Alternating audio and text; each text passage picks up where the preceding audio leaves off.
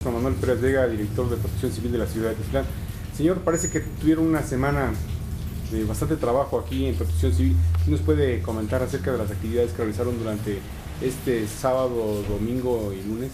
Así es, Gloria, mira, eh, tuvimos varios servicios, entre ellos cabe destacar que tuvimos una menor atropellada en el barrio de Chinaulingo frente a la iglesia, el vehículo que la atropella se da la fuga, la menor es atendida por el cuerpo de respuesta inmediata de este sistema y trasladada al hospital guadalupano para su atención integral, presentando diversas lesiones en lo que es la parte eh, anterior del cuerpo, eh, básicamente todas ellas abrasivas.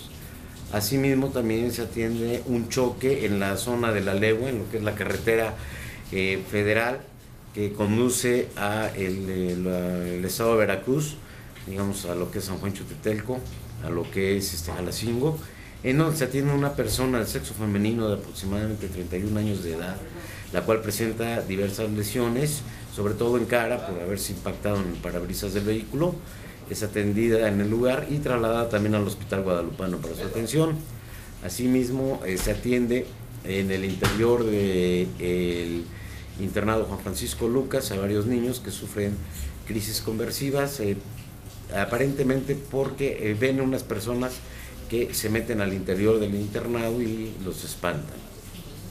También se atendió un conato de incendio el día de ayer, como a las 11 de la noche, en el barrio de, de Chinaulingo, frente a la gasolinera, en donde, eh, debido a un altar donde habían dejado veladoras, se prende un techo de lámina, el cual es eh, sofocado entre elementos de seguridad pública, bomberos de Tizutlán y protección civil.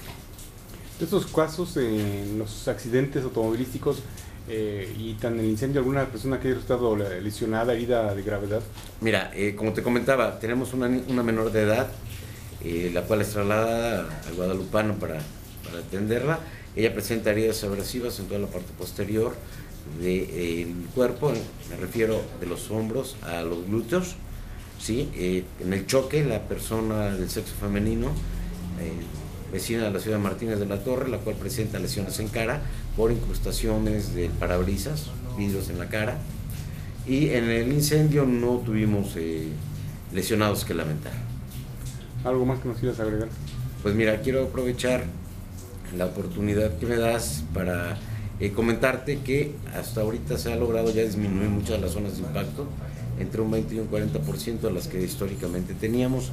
Esto es gracias al apoyo de la población que nos ha estado ayudando, manteniendo limpias las atarjeadas de desagües, drenajes de los techos, evitando que se les junte el agua en los techos, manteniendo también limpias las cunetas, ¿sí? evitando dejar materiales de construcción en las calles, a modo de que no sean arrastrados por el agua y nos creen zonas de impacto.